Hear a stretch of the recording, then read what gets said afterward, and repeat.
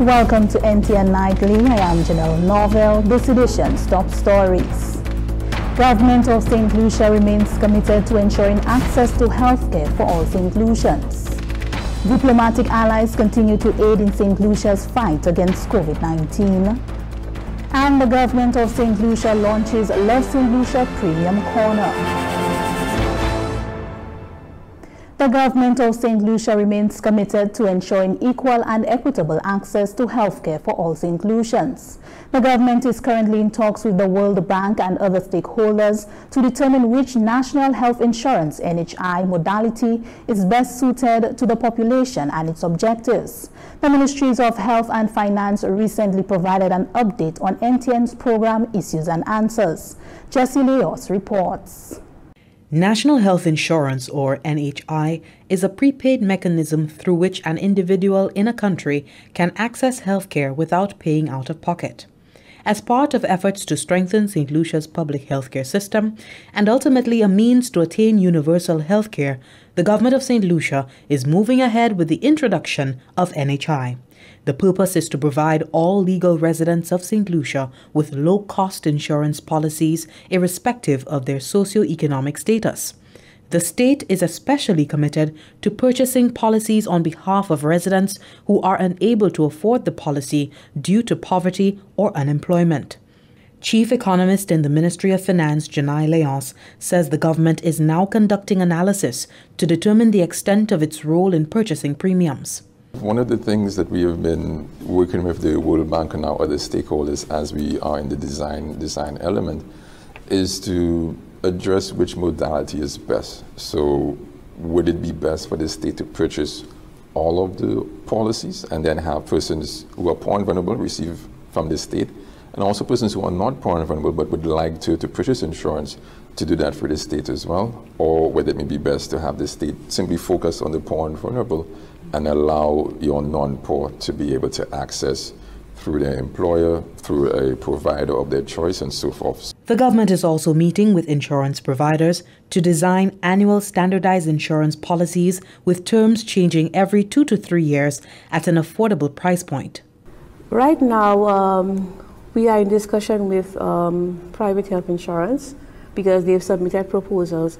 But what we envisage is that it will um, encompass a, a range of services such as inpatient care, outpatient care.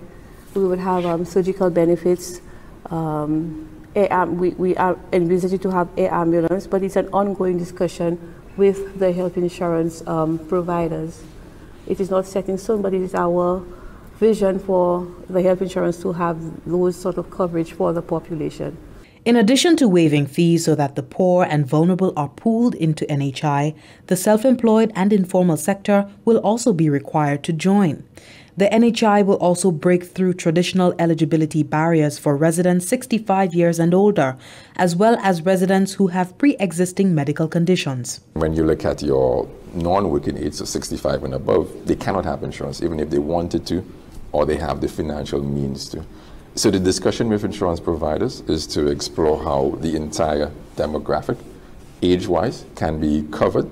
When you look at the, the market right now, what you see is that many persons cannot get insurance because mm-hmm. of a pre-existing condition. Yeah. So it's actually one of one of the discussion points that we are having to explore how can we move away from that, so that anyone, regardless of they having a pre-existing condition or not, can purchase a product that is affordable.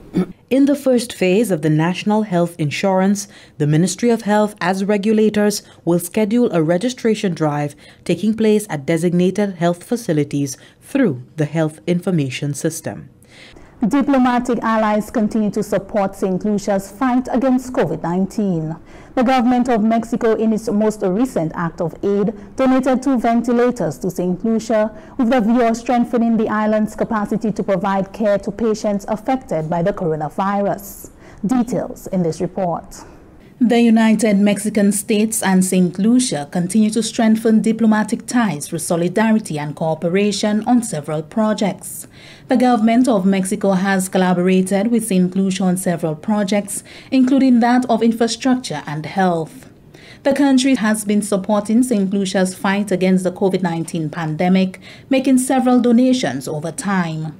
This time around, the government of the United Mexican States, through the Mexican Agency for International Development Cooperation, AMEXCID, donated two ventilators to St. Lucia.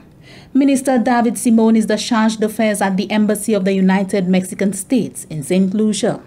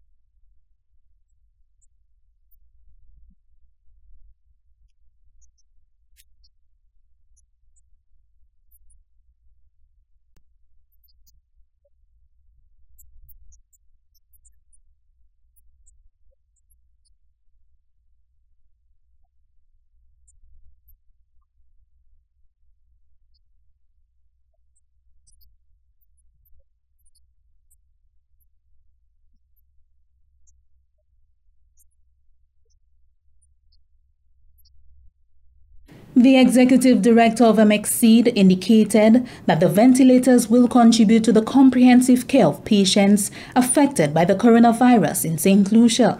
She opined that no country can effectively address international challenges individually, especially when facing global challenges such as the COVID 19 pandemic.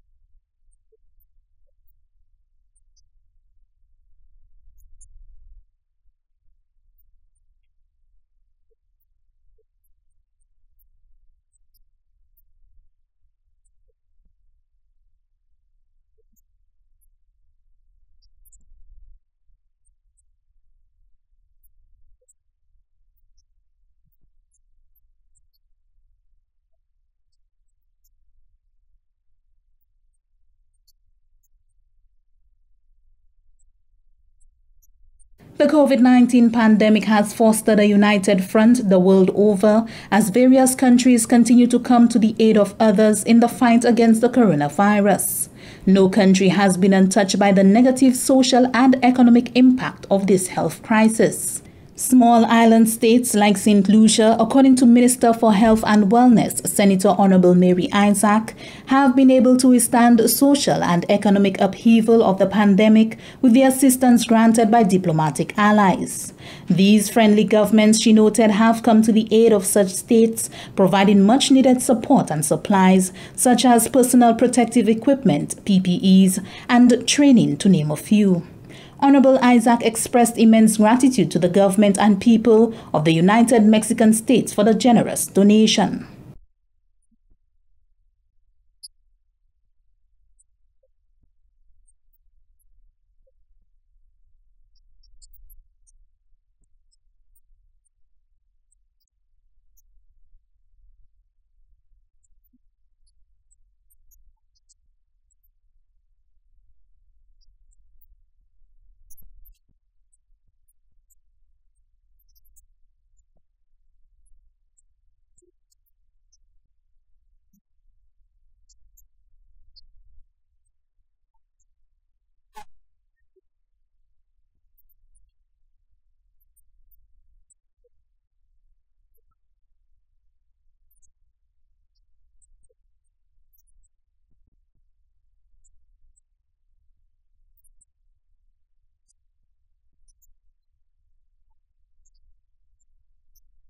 The ventilators were handed over to St. Lucia on the 2nd of June 2021. From the Government Information Service, I am Janelle Norville. The Ministry of Equity, Social Justice, Local Government and Empowerment for its Youth Empowerment Program is tackling crime and violence from a different perspective. A recently hosted Anti-Crime and Violence Extempo Challenge was held virtually on June 6, 2021 in that vein. Hamadi Mark tells us more. The Ministry of Equity, Social Justice, Local Government and Empowerment, through its Youth Empowerment Program, hosted the Anti-Crime and Violence Extempo Challenge on June 6, 2021. The virtual event was held in conjunction with the Community Relations Branch of the Royal St. Lucia Police Force and the Central Development Bank. Gilroy Hall, host of the event and mentor to the participants, expressed that the initiative sought to engage young people on their views on crime and violence using extempo. The format that was used is slightly different to the other challenges of the past. Generally, with the extempo challenges, you had the challenge being thrown out there and persons would just um, create their own compositions, send them in, and that was about it. But we, we, we took a different approach, and hats off to the um, Ministry of Equity, Social Justice, Local Government and Empowerment for embracing this idea under the, the Youth Empowerment Project and of course with assistance from CDB and of course the Community Policing Initiative of the Royal St. Lucia Police Force. So we, we engaged the youngsters in a series of workshops. The idea was not to tell young people what to say about these issues, but to get information from them about their perceptions, their views, their possible solutions, or any ideas that they have for developing safety in their communities and community development. Commissioner of Police Milton Desir spoke on the important role that young people play in the betterment of society. Partners in the organization of this workshop and the implementation of the Extempo Challenge, and very importantly, you, the youth of St. Lucia, who have embarked on a historic and novel journey. Partnerships in making our communities and countries safer, more productive, and a joy to live in are extremely important, and your contributions today and in the years to come can certainly improve all of our lives. Our youth have a very important role to play in the nation building and the subject matter which you are attempting to help us with is an area that we need to get under control at the soonest. The Permanent Secretary in the Ministry of Equity, Social Justice, Local Government and Empowerment, Velda Joseph, encouraged each participant to look within themselves to become productive citizens of society. Thank you for participating in the Extempo Challenge. What a great way to showcase your creativity, your skills, and your talents. Best of luck to each and every one of you. Remember, you are all winners. The Extempo Challenge engaged 24 participants in three age categories from various schools and communities in Castries. Teriel Masion participated with an entry entitled Happy People, Happy Community, and Jaden Mondaisy from the Sir Ira Simmons Secondary School with a piece entitled Crime and Violence ladies and gentlemen of my community. But there are some things that make me unhappy. The quarrels and fights really trouble me. We can do better, we can live peacefully. I may be too young to sit in parliament, but my community I want to represent. Here is my advice to everybody. Happy people means happy community. First things first, what I wanna say is that our people mustn't go astray. Cause all we can do is hope and pray that these bloodthirsty men never get their prey. Rapists and thieves, they are all the same. Rob you of your dignity, but don't be ashamed. Admit your cries, go make a report so that you will get justice one day in court.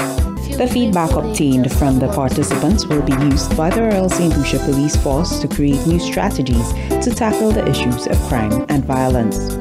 From the Government Information Service, I'm Hermadi Mark reporting. The government of St. Lucia and the Taiwan Technical Mission for the Seven Crops Project has teamed up with Massy Stores to launch the Love St. Lucia Premium Corner. Anicia Antoine has the details. The Love St. Lucia Premium Corner is the latest initiative under the Buy Local campaign that forms part of the enhancement of the efficiency of production, distribution supply chains in the fruits and vegetable sector project, also known as the Seven Crops Project. The Premium Corner will be available at the Massy stores supermarkets across St. Lucia and will primarily promote the buying of selected locally produced fruits and vegetables of the Seven Crops project, which includes cantaloupes, lettuce, tomatoes, pineapples, watermelons, cabbages and bell peppers. Perishables manager at Massy Stores, Dunstan DeMille, says the Love St. Lucia campaign is a step in the right direction towards encouraging local production and consumption. We remain fully committed to working with the agricultural sector, our suppliers, our farmers, so that our customers would get the best quality produce produced locally. Our expectations for this Love St. Lucia campaign is for our local items to be our customers' first choice. We don't want it to be the only choice, but we want it to be the first choice. Permanent Secretary of the Department of Agriculture, Fisheries, Natural Resources and Cooperatives, Barrymore Felicien, says that the public-private partnership will be of great benefit to local farmers and consumers alike. But the Department of Agriculture, Fisheries, Natural Resources and Cooperatives we are pleased to enter into this public-private partnership with Massy um, to launch the premium, the Love St. Lucia Premium Corner, and um, also recognize the efforts of the Department of Commerce in that process um, to buy local, promote local, local consumption, local production, and to create in some way local demand. And that is, that is the intention. And these objectives align definitely with our 2015-2021 strategic plan at the Department of Agriculture. And it is embedded in that document that we have to boost local food systems, the quality of the food, and the safety of the food as well. Ambassador of the Republic of China Taiwan to St. Lucia, His Excellency Peter Shen, expressed gratitude to all stakeholders involved in ensuring the success of yet another milestone of the Seven Crops project. I sincerely believe that this creative and meaningful initiative has successful, successfully brought confidence to both farmers and customers. Seven Crops Project is another important step of, uh, to awareness raising, promoting food security, and mitigating the impact of climate change. The enhancement of the efficiency of production, distribution, supply chains in the fruits and vegetable sector project, also known as the Seven Crops Project, commenced in 2019 and will culminate this year. From the Communications Unit of the Ministry of Agriculture, I am Anicia Antoine reporting. This is NTN Nightly. Up next, Primus Hutchinson with the NTN Nouvelle, a Creole. Here at St. Lucia Distillers, we produce an award-winning range of rums and rum products. We export our rums to the Caribbean, North America, and Europe. Standards facilitate our entry into overseas markets. In the rum business, it is critical that our distillers and blenders get it right. St. Lucia Distillers is HACCP certified. We use two standards from SLBS, the standard for labeling of prepackaged foods SLNS 1-3 2014 and the National Specification for Rum SLNS 12 2003. We are also a registered member of the West Indies Rum and Spirit Producers Association, WIRSPA. SLBS ensures that we are up to standard and world class. This message is brought to you by the Commonwealth Standards Network. Welcome back. We join Primus Hutchinson for the NTN Nouvelle au. Monsieur, Madame, département qui nous responsabilité pour information au gouvernement cette ici, ça c'est GIS, à ça puis télévision nationale pays NTN, qui a nouvelle à Creole, pour Primus Hutchinson. Une situation à l'hôpital Saint Jude qui était l'occasionné un degré contre Haïti concernant les conditions, problèmes de l'eau qui étaient affectés, tuisines dans l'hôpital. J'ai trouvé Rosalie. Grand grec pour bord de management, c'est Joe Dwayne Harrow, avoué la vérité qui les travailleurs dans l'hôpital là étaient engagés en protestation concernant une grande quantité de l'eau qui était coulée et plein de chambres cuisine l'hôpital là. Mais selon Harrow, depuis les ménagements trouvés au rapport des plaies de salaire, a pas perdre la cape et prendre action immédiatement pour résoudre la situation. Le problème là, c'était un résultat d'un tuyau de l'eau qui était coulé.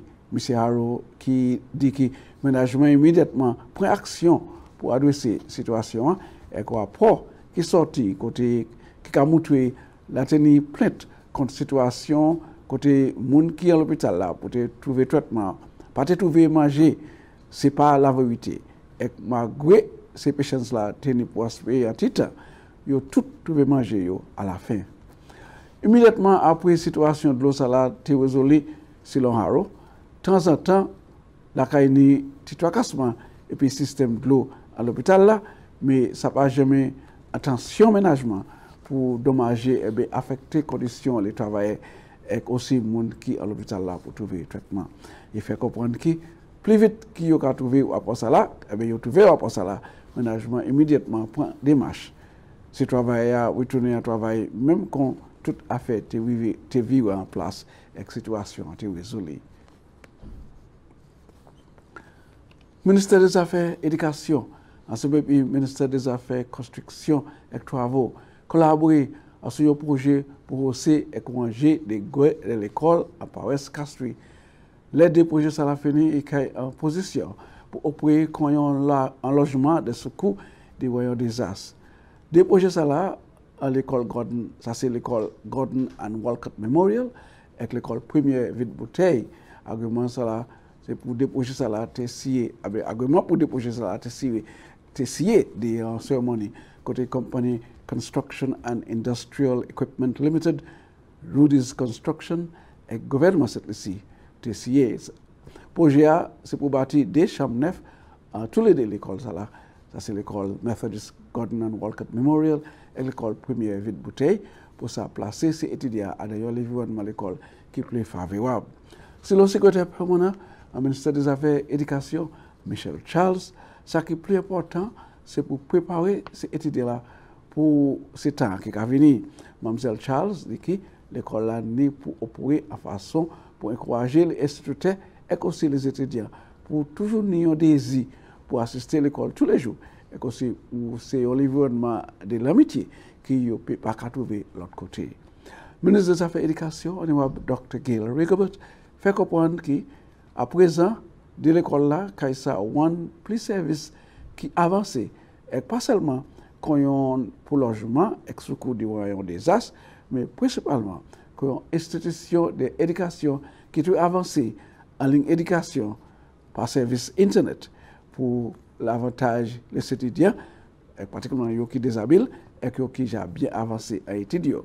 Le représentatif parlement pour Powers Castry, honorable Sarah Flood Bobre, dit la famille n'y besoin qu'à vivre à cas qui s'en sauve et que pour l'environnement qui a embrassé des grandes protections et toute l'autre nécessité pour les étudiants, même qui a existé dans l'école. Ministri nan responsabilite pou konstriksyon ek travou, Honorable Stevenson King, fè yon apel pou l'ekol Methodist ki mèm te asiste ni primer servis kanal paski an ta pase l'ekol la ja sou fè otan epi problem god lo ek sa ja afekte se etidya otan pou sa asiste l'ekol. Se chanm nef la, an de l'ekol la, se 3 etay pou l'ekol vide bouteille an la jè di plis ki 13.000 seksa pye kawe e Gordon Walcott Methodist Memorial kaini de etay la osi kaini le pou loutou gawe yon pak nef anpami lot nesasite. Kom industri fig la kapwen yon posisyon nouvo pou sa ende le fama fig pou viwe touve yon soulajman koti yo kay sa wisivwe yon degwe asistans ki kay pli faviwab menis des afer agrikol ek pech Odon Abisikil Joseph deklare ki, a prezan, sitwasyon fig la kay pli sawye ek prezon sa la. Kay ni adan fama ki kay ni tche an tchet avan yo antwe an wanjman nef la. Minis agrikol la fe kopon padan se fama kay veye avan wè an ki direksyon devlopman nouvo sa la ka ale, menis la mèm deklare ki sa ki ka e pli important se le fama ni pou touve yon, yon certifiye ek sa ka fet aba yon kondisyon kote gwen la plas etanasyonal la chaman de yo pou fè. Souteni avan l'anè a koumanse, avan 2021 te koumanse nan les ba wou ekzap, ou teni ansan famoz ki te Global Gap Certify. Pou 2021, ou sa oni certify 10 fama. 10%. Ok? Nou, nou ni plus farmers qui pas global gap certified parce que farmers qui global gap certified. So co gouvernement et puis new board là nous ne pouvons qui ça nous a fait pour engage international organization hein, because nous a engage you nous a fait a special dispensation pour nous a ni plus passer 10% because si nous ne pour continuer avec 10% um, 10% 10 10 10% Se kay pou nou over 80 years pou Global Gap se li fè, tout se fam nou la ki avi efik. Nou, se fam nou sa pa kay weti efik, se yu kay disepote, yu kay se aso international la plas la ou ka en pligou la. So, nou kany wes konsabilite sa pou asiwe dat nou pale, nou engage organizasyon nan um, ki wes konsab pou e manye yo sa um, bayi sipo. who Nusa went pre-farmers certified um, in, in the pre-muestra. -pre mm-hmm. ok, so sa nou, sa se yon bay nou travaya sou. Lot bay lan nou gay travaya sou, kom wè di, se bay farmers support, epi matiyo bay farmers support, epi um, extension, so nou gay ni pre-interaction epi farmers pou, pou bay yo kalte edikasyon. Epi farmers, farmers Ne vi pou fik, moun pran dou famans ni edikasyon. Se jes pou famans d'akor dat um, yon di pou serye. Alright? E pi si fik la pa bo kite yon fil la. Ek sa sete minis ki ni responsabilite pou afe agrikultur ek la peche sete si Honorable Ezekiel Joseph ki ka bout nouvel nou jodia. Ek mwen ka wimesye otan pou ka gade ek mwen ka ba yon invitasyon. Invitation pour je puis moi considérer conserver la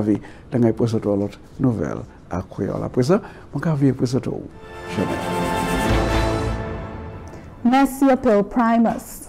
That brings us to the end of NTN Nightly. Join us next time at 7 p.m. with a repeat at 7 a.m. You can also catch up with us anytime on the St. Lucia Government Facebook page or YouTube channel. I am Janelle Norville.